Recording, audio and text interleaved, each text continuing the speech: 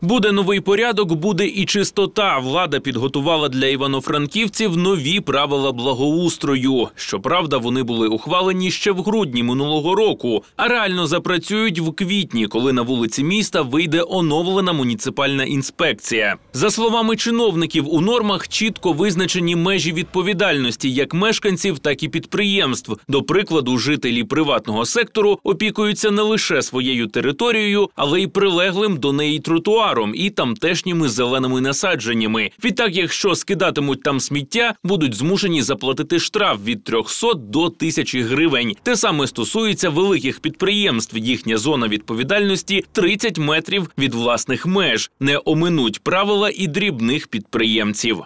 Наприклад, якщо в нас є там тимчасова споруда, там кіоск який щось продає, то відповідно 10 метрів по радіусу кіоска відповідно має бути прибрано даним власником даного кіоску чи орендарем.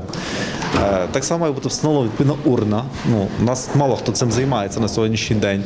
Якщо це є відповідний якийсь магазин, то так само, тобто відповідно від магазину, і відповідно так само у нас є певна територія, яка може бути до 20 метрів по фасаду, і так само відповідає даний власник магазину. Завдяки новим правилам благоустрою в комунальному департаменті обіцяють навести лад із незаконною рекламою. Це стосується як так званих спотикачів, так і великих вивісок. У місті є чітко затверджені норми їхнього вигляду. Відтак, якщо підприємці ними нехтуватимуть, комунальники демонтують вивіски без жодних церемоній. Хочеться, до речі, звернутися до усіх суб'єктів.